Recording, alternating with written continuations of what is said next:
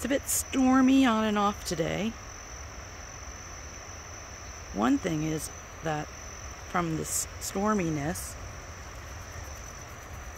the surf, the waves, and the surf out there is very busy and big, big surf. And you can hear it if you listen. It's very loud today. Now it's raining, so you might be able to hear the raindrops.